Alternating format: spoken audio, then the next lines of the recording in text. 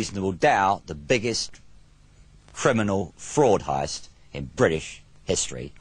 Carroll has connections with the great and the good, not just royalty but senior politicians. He had 85 companies, a string of racehorses and collections of art and cars. Yet within years his empire was reduced to this, a few pictures and mementos of his former wealthy life. Now the Serious Fraud Office is studying hundreds of documents which Carroll believes proves his business collapsed because of systematic fraud, not, as some argue, the recession.